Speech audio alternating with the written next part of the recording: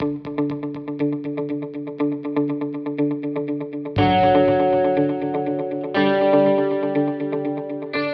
is a need. And you already heard about how great the need is in Nigeria.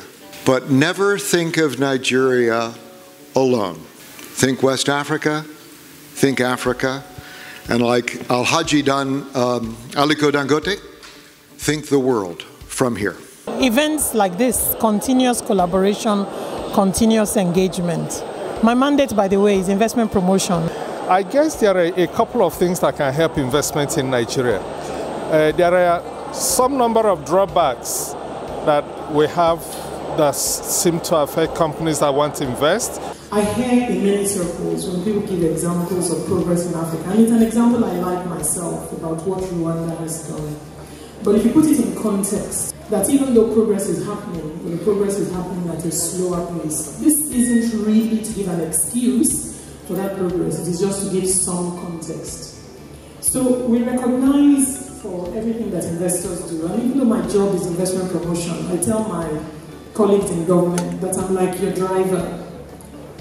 It is my responsibility to get you to your destination on time. But if it'll take 30 minutes to drive to the destination and you enter the car five minutes before, well, it's either I break your neck getting you there or you're certainly going to be late. So it's important that the business environment and the drivers of the business environment do the things that they need to do, you know, um, for the markets to remain interesting to investors.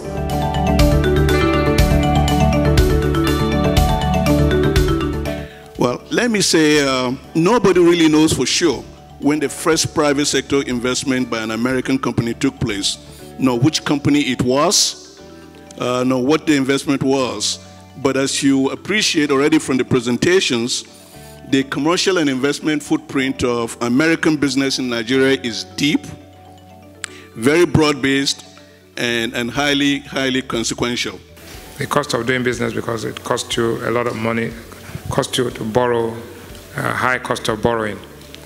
Um, but is inflation necessarily a bad thing? No. If inflation is accompanied by growth uh, and what we call the natural rate of inflation, at 11.37, the average uh, rate of inflation in sub-Saharan Africa is 8.5%. So Nigeria's inflation is much higher than the regional inflation. Um, Nigeria and South Africa average growth put together is about 0.6%. If you take Nigeria's 2% or 1.9 and South Africa, while the next five countries are growing at about almost 7%. So you can see that there are structural problems that are leading to constrictions, and these constrictions are making restricting growth, but at the same time at a high cost. The challenges are early, early days, what we call early stage challenges.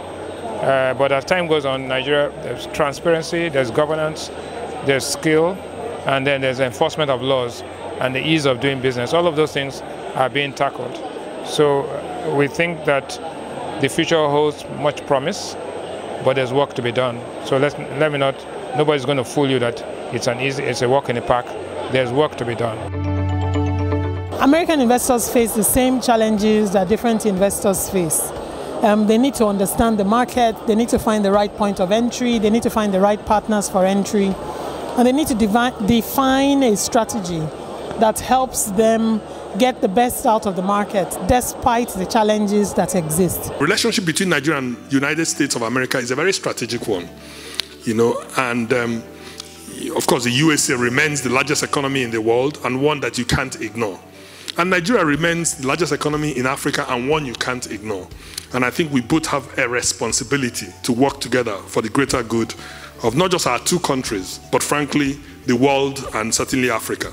There are challenges with doing business in Nigeria, but those challenges can very easily be surmounted by a little local knowledge and by finding the right local partners. Let me say that when it comes to this issue of removing hindrances, and making it easier. It's something I am very passionate about, and it's something as a government we want to really turn into uh, not just a mantra, but we would like to turn the rhetoric on its head. You know the way people talk about Nigeria being a difficult place to do business, and not necessarily wrong, but we'd like to see that reversed. We want this place to become one of the easiest places to do business in the world.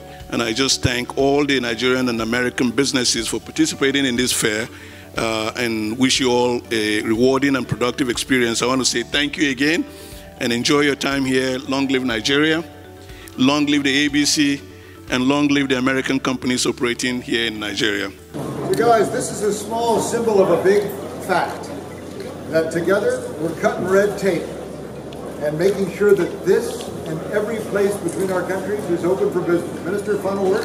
Final word is together we are stronger than separate. Here.